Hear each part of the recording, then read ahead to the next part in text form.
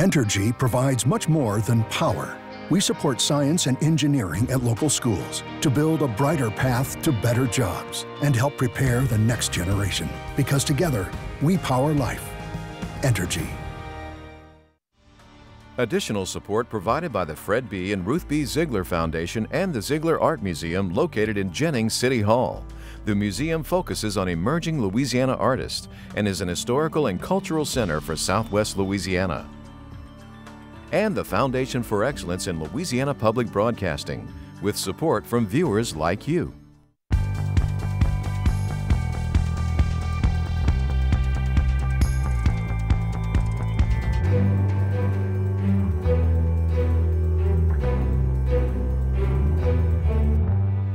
A lot of times north of I-10 gets forgotten. Northern leaders take their concerns to the Capitol. It amazed me that she was able to pull this off. The story of the unstoppable Doralice Fontaine and her love of Louisiana. Hi, everyone. I'm Andre Morrow. And I'm Natasha Williams. Much more on our top stories in a moment on this week's edition of SWI. But first, a first in one season for the Bonnet Carré Spillway. Yeah, a rapid rise in the Mississippi River from torrential rains has prompted the Army Corps of Engineers to begin reopening part of the spillway in St. Charles Parish. Remember, it had opened in late February, then closed in mid April. This marks the second time in one flood season for the structure to open. The Corps says Mississippi has risen six inches in the past 24 hours, and the opening will relieve stress on levees in New Orleans. Now, a look at other stories making news around the state. Schools in at least one northeast Louisiana parish were closed Thursday after another round of strong storms rolled through the area. David Claxton, superintendent of Jackson Parish Schools, said they canceled classes to assess the damage. There was no major report of damage to the schools, but Claxton said the district was concerned, and as a precautionary measure, they wanted to keep people off the roads. Multiple trees and power lines were reported down in Ouachita Parish as severe thunderstorms rolled through the area Wednesday night. As many as 13,000 Entergy customers were without power across North Louisiana due to storm related damage. Ouachita and surrounding parishes were under a tornado warning for a portion of Wednesday night. Trees were also reported down near the University of Louisiana Monroe campus. The governor is scheduled to tour Jackson Parish to evaluate the storm damage. Governor John Bel Edwards has announced an agreement that will give New Orleans more than $67 million for infrastructure, including the city's aging sewer, water, and drainage system. The deal was also including $26 million in annual recurring funding. That will depend on passage of legislation that includes a 1% tax on hotel rooms and a 6.75 tax on short term housing rentals. Edwards announced the deal in a joint statement Monday with Mayor Latoya Cantrell. Cantrell has been pushing for New Orleans to get more tourism tax revenue. President Donald Trump plans to visit Louisiana next week to highlight job growth related to energy. The White House said Monday that Mr. Trump is scheduled to tour Hackberry, an unincorporated Louisiana community on the Gulf Coast between New Orleans and Houston on May 14th. President plans to tour a shipping facility that uses trains to bring in liquefied natural gas for export overseas.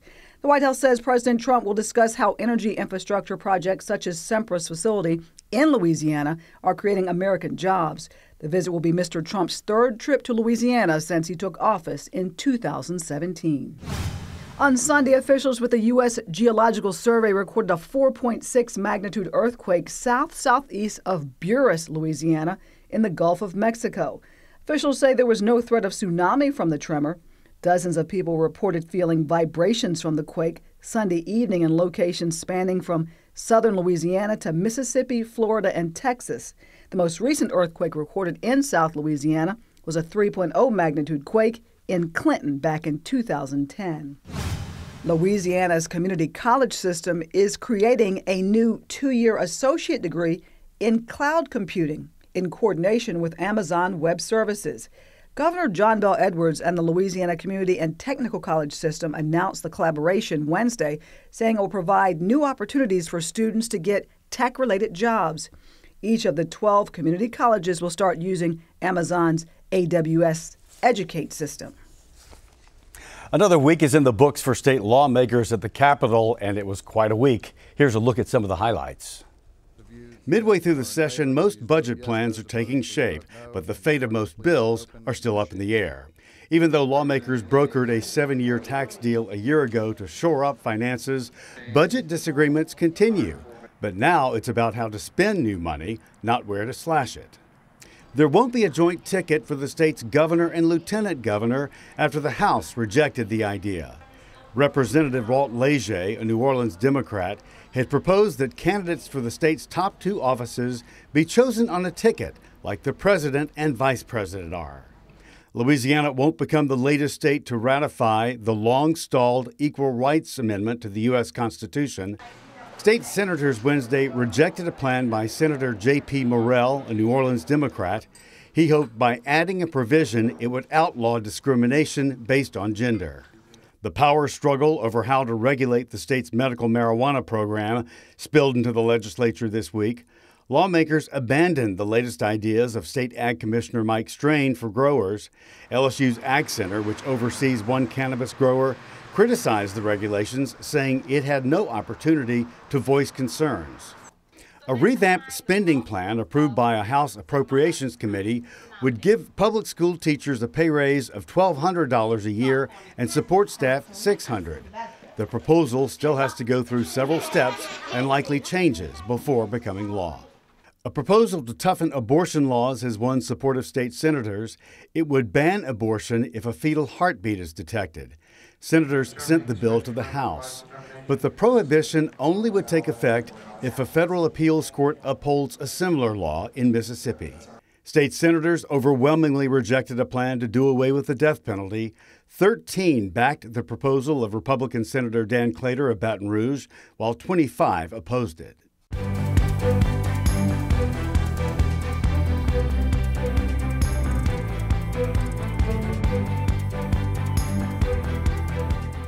We have reached the halfway point of the legislative session, and leaders in the northern part of the state made a caravan to the Capitol this week. For 33 years, they've come as a group to remind lawmakers and the governor that not only are they a vital part of the state, but also are engaged in fighting to improve issues affecting their towns and cities. It's a not so subtle reminder. Hey, how are you? A meeting just steps from the Capitol. I say a lot of times, and I tell the governor this, um, halfway kidding, but I also uh, serious too, that uh, a lot of times north of I-10 gets forgotten. I told the governor when he got elected, I said, please don't forget. There's some really, really good people in North Louisiana. Busloads of leaders making the trip to Baton Rouge from Northwest, North Central, and Northeastern Louisiana, joining forces to ensure the needs of the people at the top of Louisiana remain top of mind for both lawmakers and our governor. This is just so important. I mean, I got a lot of stuff I need to be doing in Ruston, but this is important to, to be in front of our legislators, to make them, uh, to just remind them of North Louisiana. Mayor Ronnie Walker of Ruston is trying to literally put his city back together after a devastating tornado tore through it in late April. A 35 year old mother and her 14 year old son died, the twister causing more than 9 million in damage. He says despite the tornado, Ruston's area universities and businesses are full steam ahead. Louisiana Tech University is doing some amazing research and work in cyber and in engineering and all of that.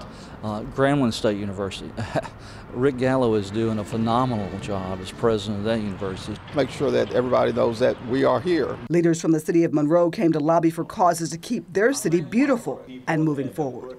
We come down, we lobby our own legislators, but we also get a chance to talk to the, the legislators in other parts of the state and let them know that uh, you know they need to work with our guys as far as uh, uh, spreading the pie around, so to speak. So it's a good opportunity for, uh, for us to come down and, and, talk about various issues. Also, uh, not just with uh, the legislature, but other uh, parts of our state government, such as DEQ and other things that we need to talk about. Greg Smith is the executive director of the Keep Monroe Beautiful initiative. Their mission is to keep Monroe beautiful by engaging individuals, household, and businesses to take greater responsibility in improving their community and environments. Their plan is a clean, green, physically enhanced city where citizens have a strong sense of pride and concern about their environment. We have a big issue with tire dumping, that type of thing. And so we're trying to get some solutions that, that would not only work in Monroe but statewide. So having a, a chance to talk to a secretary here or there, uh, depending on what that uh, department is, it's just a good opportunity right here. The business and education community want to come together to let our legislators know that they're important to us, and that we want to be just as important to them. Camille Carrier is the Vice President of Student Affairs at the University of Louisiana Monroe. We need their support to keep our businesses, our, our educational institutions, ULM, Delta, Louisiana Tech, Grambling, all of our North Louisiana educational institutions viable. Uh, we need the funding. We've had stable funding for two years. That doesn't mean we've had increased funding. It's just been stable, which is uh, which has been good versus the cuts. So you know, if we can continue moving forward, continue advancing higher education, investing in higher education, then we're all going to come out better. Speakers at the event coined Northern Exposure came from both sides of the aisle. Head of State Governor John Bel Edwards gave the keynote. So thank all of you for coming down. The governor telling the folks gathered from 21 parishes across the I 20 corridor of North Louisiana, our state is going in the right direction.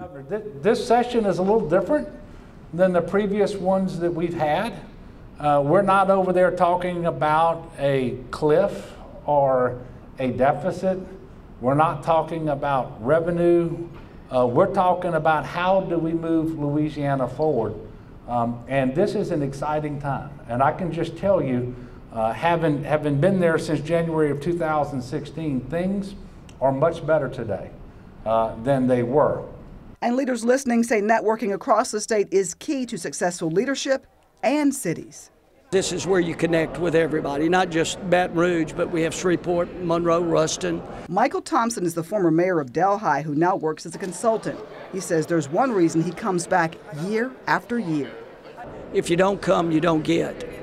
And for Renata Norman of Leadership Ouachita, attending the event is giving her a chance to learn even more about how our government works. I want to hear about the minimum wage standard because, of course, stacking up Louisiana against these other states, and of course, we're trying to grow our economy here. I really want to hear more about what we're going to do to uh, raise that. As Ruston Mayor Ronnie Walker talks to leaders in Baton Rouge about getting help for home, he knows his city of 24,000 has many months, even years of rebuilding to do to get back to its pre tornado self. Now it's just that grind. It's going to be slow. Now, what Walker says hasn't been slow is help from folks throughout the state. Strangers driving for hundreds of miles to pitch in and clean up as the city gets back on track. We'll have much more on Ruston's recovery in the weeks to come.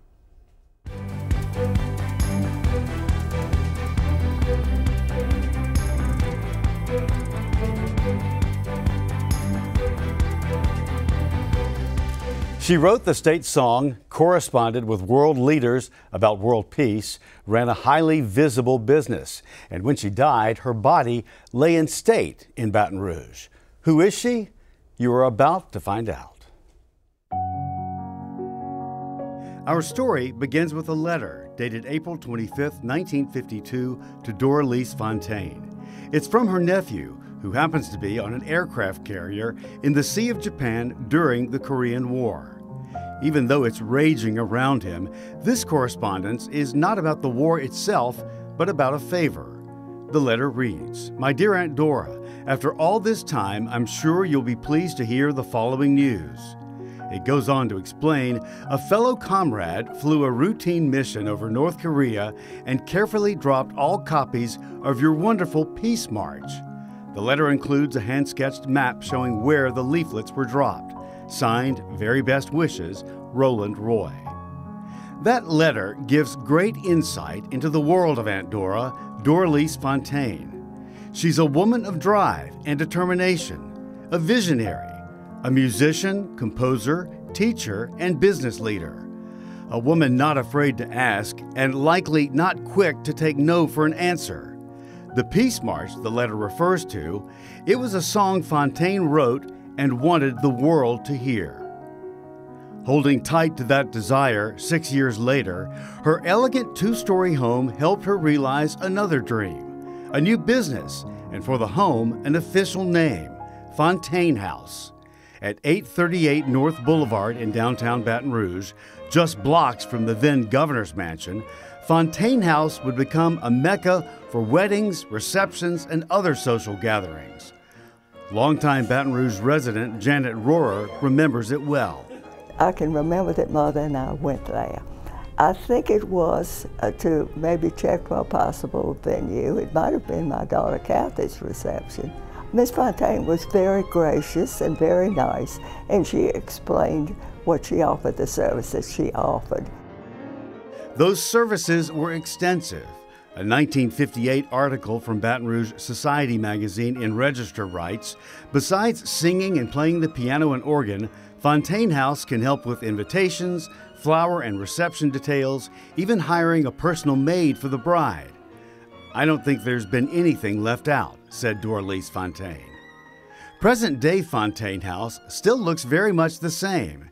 It's where Baton Rouge publicist and author Ronna Gray has rented office space for more than 10 years. And when we moved in, the owners of the building and some of the other people who have had office space here told me the, that this was the Fontaine House, that it had been the house of Doralice Fontaine. And the name immediately meant something to me because my first job out of college, I worked for the Secretary of State of Louisiana, and I remembered instantly that she had written our first state song, Give Me Louisiana. Give me Louisiana, the state where I was born. At the piano is the niece of Fontaine, Carol Ducote, and that's Mary Vidros on lead vocals, her longtime housemate. She asked me to join them in singing Give Me Louisiana. Oh, give me Louisiana, the state where I Ducote is now blind, and tongue cancer has robbed her of the ability to articulate. But it doesn't stop them from taking their act to area nursing homes where the old songs bring smiles.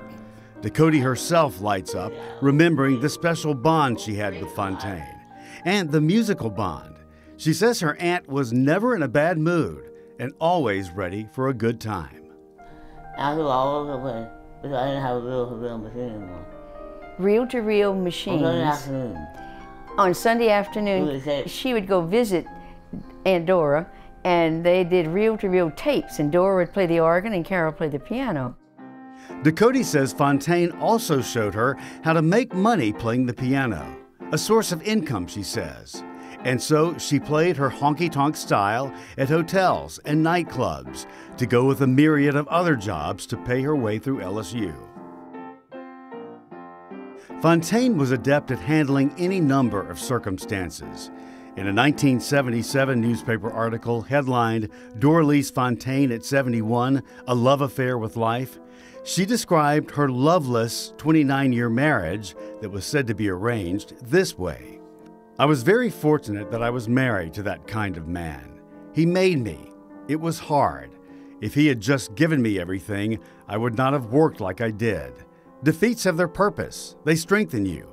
We need the sunshine and the rain. One battle along the way was her fight to keep Give Me Louisiana the official state song. In the 70s uh, was when the legislature proposed changing our state song to You Are My Sunshine. And Miss Doralice Fontaine, is my understanding, went to the legislature, sitting down there for the vote, lobbying to not do away with Give Me Louisiana, and the vote to make the change failed. These are her notes from that very day at the Capitol when she tallied the yeas and nays. This piece of history and Fontaine's personal papers are all kept in the Special Collection Division of LSU's Hill Memorial Library. That letter from her nephew is here, and much more. These are the original printing plates to Give Me Louisiana, and this is her composition of Let's March Together. The march was her international hymn of peace, and with it, she reached out to world leaders, celebrities, and acclaimed former First Ladies. So, a letter here from Eleanor Roosevelt responding to one of her letters.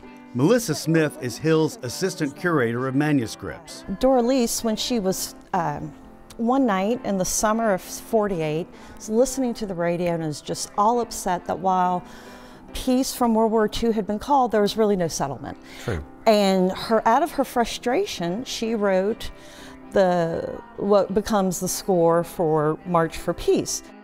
Smith says Fontaine's papers show it wasn't long after that she heard Eleanor Roosevelt on the radio echoing similar sentiments.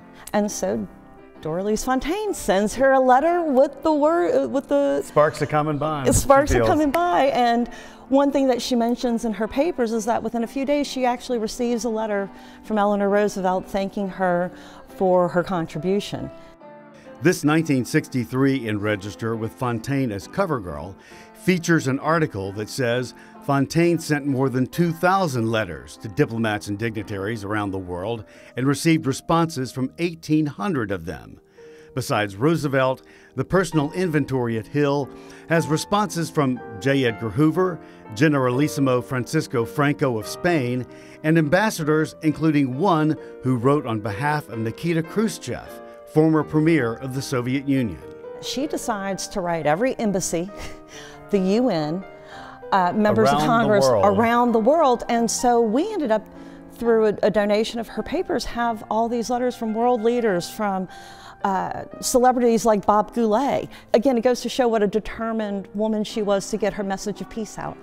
And that she also writes of wanting school children to be able to sing it. She wanted to write lyrics that would be simple enough for kids to sing and for them to enjoy. And so what also ends up happening is that LSU performs the song.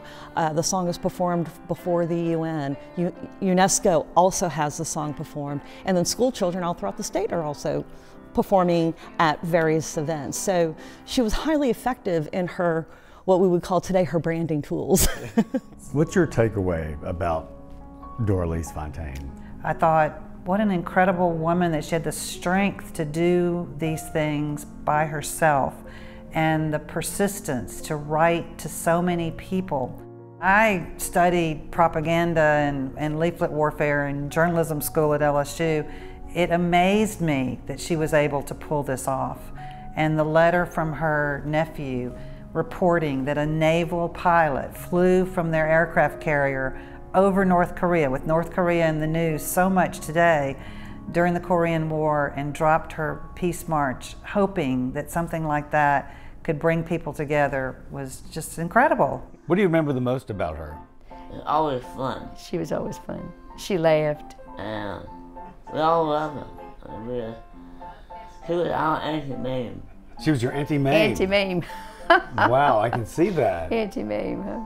Oh, give me Louisiana, the state where I was born. I can hear you and her playing the organ right now. I can Can't you? hear it. A year after Fontaine lobbied to keep Give Me Louisiana as our official state song, it gained company when You Are My Sunshine was added as another state song. Doralice Fontaine died in 1981 when she was 77, but as you now know, left behind details of her love affair with life. That was a wonderful story. Thank you. Yeah, enjoy doing it, man. It was really fun. Yeah. A lot of news about state songs this week. There was a chance a third official song could be added to the list. Yeah, the song Jambalaya, or some people say Jambalaya, has been talked about, but Senator Norby Chabert of Terrebonne Parish is shelving his proposal in favor of it, at least for this session. So, in case you're keeping official count at home, it remains two. The state still has just two official songs. Uh, you know that this is National Travel and Tourism Week, and never one to miss an opportunity. Lieutenant Governor Billy Nungesser made stops around the state reminding people about our tourism growth. He talked with business leaders in Acadiana about the Louisiana Feed Your Soul tourism brand. He also pushed staycations, staying close to home and seeing what we have to offer here. We have a lot to offer. This summer, you can go deep sea fishing in Grand Isle. You can take in Ruston, Louisiana Peach Festival. There are hundreds of things. And in the heart of Baton Rouge is the Burden Rural Life Museum, which emphasizes our agricultural heritage. Rex Q. Fortenberry takes us there in this Louisiana postcard.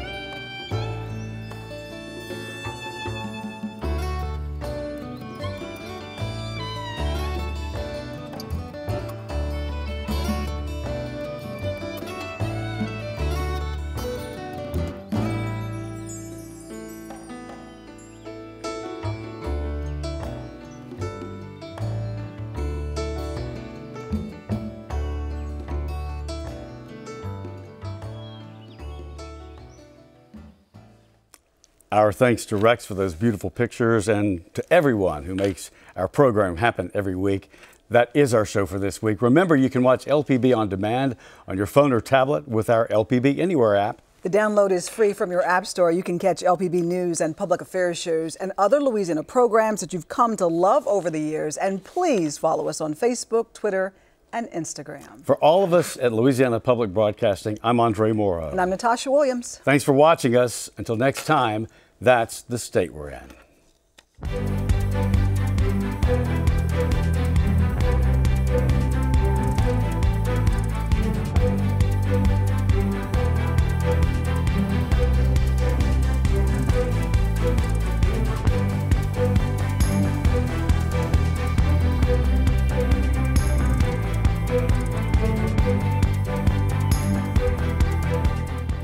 Support comes from Entergy provides much more than power. We support science and engineering at local schools to build a brighter path to better jobs and help prepare the next generation. Because together, we power life. Entergy. Additional support provided by the Fred B. and Ruth B. Zigler Foundation and the Zigler Art Museum located in Jennings City Hall. The museum focuses on emerging Louisiana artists and is an historical and cultural center for Southwest Louisiana and the Foundation for Excellence in Louisiana Public Broadcasting, with support from viewers like you.